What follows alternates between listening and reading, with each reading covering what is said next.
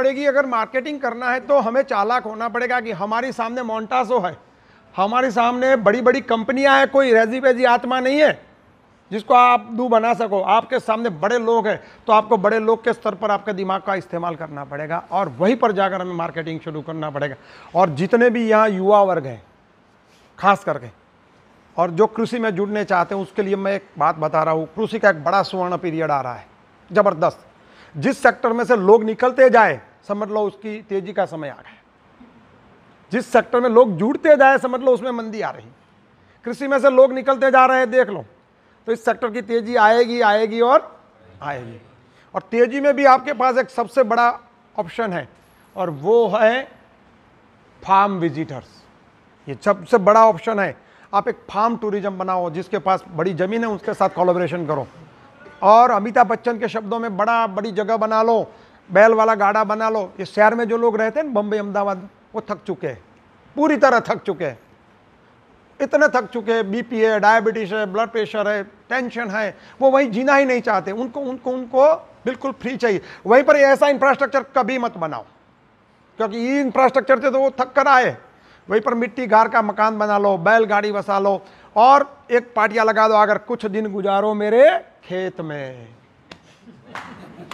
क्या बना दो? कुछ दिन गुजारो मेरे खेत में। फिर देखो पैसा छपने लगेगा, वो आएँगे, दो दिन आपके खेत में ठहरेंगे, आपका ऑर्गेनिक खाएँगे, बैल में घूमेंगे फ्रेश होकर जाएँगे और आपको पैसे मिलेंगे। आप गाँव में मार्केट करने जाओगे तो नहीं बिकेगा, क्योंकि ऊन वही गेटों पर है। ऊन भेड़ पर ऊन है, वहीं से उतार लो। और ऊन भेड़ पर अगर ऊन नहीं उतारोगे तो उसमें जीवात पड़ जाएगी और उनकी सेहत के लिए भी ठीक नहीं रहेगा। तो मेरा किसान क्यों नहीं कमाए? तो ये जवान जो लड़के मैं उनको खास कह रहा हूँ, आप उस कॉन्सेप्ट पे क्लियर करिए, बड़ी जगह लो और ये टाइटल ज़रूर पैसे वाले, पैसा वाले बनाएगा बनाएगा। कुछ दिन गुजारो मेरे खेत में। अगर आपको वहीं से गोबर उठाना है, आज आज खेत में से गोबर उठाना है तो कोई उठाएगा? लेबर भी नहीं आएगा।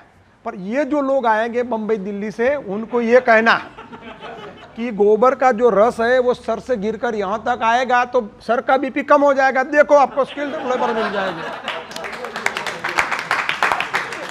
आपको स्किल्ड लेबर मिल जाएगी मुफ़्त में। ये सब करना पड़ेगा। हमको कृषि को इसी स्तर पर ले जाना है मित्रों।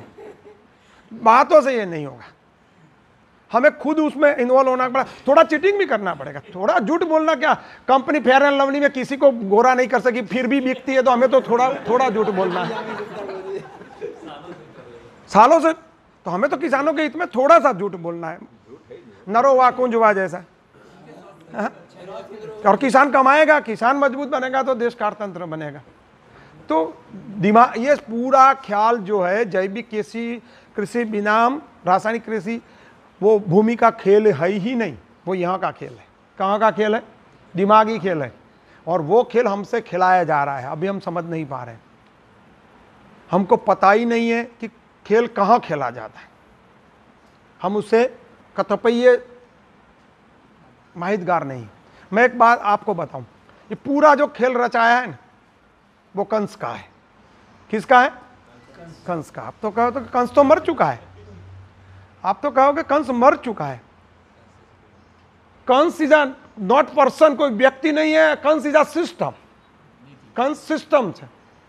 मैं आपको बताऊँ, और उसको समझने वाला एक ही आदमी हिंदुस्तान में हुआ, भगवान श्री कृष्ण उसने वो सिस्टम को पूरी तरह से समझा, बाल्यावस्था में उसने समझा, क्या समझा? कि पूरा हिंदुस्तान जो है, वो गाँवों से बना है। कहाँ से बना है? गाँवों से। और गाँव से जो मक्खन है, मलाई है, दूध है, वो सब कहाँ जाता है? कंस के शहर में। कहाँ जा रहा है? कंस के शहर में। समझना, ये कॉन्सेप्ट क्लियर हो जाएगा तो काफ़ी कॉन्सेप्ट क्लियर हो जाएँगे। मतलब गाँवों को मारो और शहरों को आबाद बनाओ। वही कंस सिस्टम है। कंस व्यक्ति नहीं है, वो सिस्टम है। गाँव से सभी चीज़ें ले लो, दूध ले लो, मक्खन ले लो, तब तक कि छाछ भी, मट्ठा भी मथुरा जाना चाहिए। और कंस मज़बूत हो जाना चाहिए। और और भगवान श्री कृष्ण ने यही समझा कि अगर उसको मारना है तो दो चीज़ चाहिए। तो उसने अपने बड़े भैया बलराम के हाथ में वो मुशल दिया। क्या दिया? आपने बलराम जी के हाथ में मुशल देखा है? और लाला का फोटा आपने कभी देखा? किशन जी का फोटा देखा? उसने क्या रखा? गाय। अपने पीछे चाहे छोटा लल्ला हो, चाहे किशन जी का बड़ा रूप हो, उसके पास गाय है। उसने कहा कि गाय और मुशल, समझ लो सब लोगों ने बातें की है किसी ने बताया नहीं हम कि क्या, किशन ने क्या किया। उसने कहा, गाय और मूशल के सिवा पूरे हिंदुस्तान की सिस्टम का विकास नहीं होगा। और उसने वो कर दिखाया। समझ लो, जब भी आप भी वो कृष्ण के रास्ते पे, आप जाओगे, देखो, कंस नहीं समझने वाला था। कंस की बात छोड़ो, वहाँ पर पूरे श्री कृष्ण के इस पूरी मुहिम में, पूरी मुहिम में आप समझ लीजिए, भीष्म ने साथ दिया। दिया भीष्म ने साथ? भीष्म सब जानते थे। फिर भी साथ नहीं दिया। मतलब भीष्म मतलब कौन? भीष्म मतलब कौन? आप समझते हो? सही है, पर भीष्म मतलब सत्ता के आसपास रहने वाले लोग सत्ता से वफादार होते हैं। भीष्म का प्रतिबिंब क्या है? मैं अपनी कुर्सी से वफादार हूँ। तो भीष्म ने भी किशन का साथ नहीं दिया। जानते हुए भी। चलो, भीष्म की बात छोड़ दो। द्रोण ने भी दिया। द्रोण मतलब कौन? जो हम हमारे जैसे जो सिखाते हैं, जो गुरु है। पूरी सिस्टम गुरु जो है, उसने भी कृष्ण का साथ नहीं दिया। समझते हुए भी। वो भी दुर्योधन के साथ। दुर्योधन भी दुर्योधन के साथ। मतलब आप अगर किशन के रास्ते पर चलोगे तो एक ठान लेना, आपके साथ न भीष्म होगे, न द्रोण होगे, न दुर्योधन होगा। आपको अकेला ये जंग किशन ने वो करके दिखा। अब हम लोग कहते कंस तो मर चुका है। कंस तो मर चुका। मैं कहता कंस मरता ही नहीं है। सिस्टम के रूप में आज भी है। मैं आपको और जब तक हम कंस को नहीं समझेंगे किसानी की पूरी दो दो प्रकार के किसान है मैं मानता हूँ। एक ऐसे है जो उस रास्ते पे चल पड़े। कईयों ने काफ़ी दूरी काटी है कई थोड़े जो है कई किसान ऐसे हैं जो अभी उस पर शुरुआत करने जा रहे हैं। दो किसान तो है ना हमारे पास एक तो नई नई शुरुआत कर रहे हैं। और दूसरे ने थोड़ा मंजिल काटी कोई ने ज़्यादा काटी तो जैविक खेती के बारे में सबसे पहला हमको कॉन्सेप्ट है वही क्लियर हो गया। आध्यात्मिक कृषि के बारे में कॉन्सेप्ट क्लियर कर लो कि हमें करना ही है। क्योंकि देखो, ये पूरा काम जो है, वो प्रवाह की उल्टी दिशा में चलना है। क्या है? प्रवाह की विपरीत दिशा में धारा की विपरीत दिशा में चलना है। क्योंकि पूरी धारा चल रही है केमिकल खेती करो। और उस वक्त वो ज़रूरी था। मैं नहीं कहता हूँ केमिकल कृषि खराब है मैं मैं किसी को खराब कहने नहीं आया इस मंच पे। अगर इस मंच पे मैं बैठा हूँ समय की पर तो सबको समय की थी कहना चाहिए। उस वक्त उसकी ज़रूरत थी हमने कर दी। कई बार शादी कर लेते और फिर पता चलता है कि पात्र अच्छा नहीं तो छूटा छेड़ा ले लेते हैं। रजामंदी कर लेते हाँ। रजामंदी कर लेते तो मान लो हमने हमने हमने गलती कर ली। तब तो छूटा छेड़ा का समय आ गया उससे छूटने का। और हमें अपनी कृषि की ओर चलना पड़ेगा। और अगर आप कह दो कि ये कृषि संभव नहीं है तो गलत है। ये कृषि नहीं है तो गलत है, समझ लो। मैं बात कर रहा हूँ अठारह की। जगदीश भाई अठारह सौ हाँ अठारह की मैं बात कर रहा हूँ। अठारह में हम पे अंग्रेज़ों राज कर रहे थे। उनका उनका जो एक्सपोर्ट दर था इंग्लैंड का थ्री परसेंटेज था। पूरे विश्व में कितना? थ्री परसेंटेज और मेरे भारत का, मेरे भारत का, हमारे भारत का, अपने भारत का एक्सपोर्ट दर था ट्वेंटी सेवन परसेंटेज तब न यूरिया थी, न पोटास थी, न हर्बिसाइड थी, न वीडीसाइड और उसमें चौदह प्रतिशत कॉटन था। कितना? चौदह प्रतिशत कॉटन था। इन सालों को कपड़े हमने पहना है और आज हम उनकी फ़ैशन लेने जा रहे हैं। उनको कपड़े हमने पहना है। क्योंकि चौदह प्रतिशत हम कपास निर्यात करते हैं। मतलब सॉरी, एक्सपोर्ट करते हैं।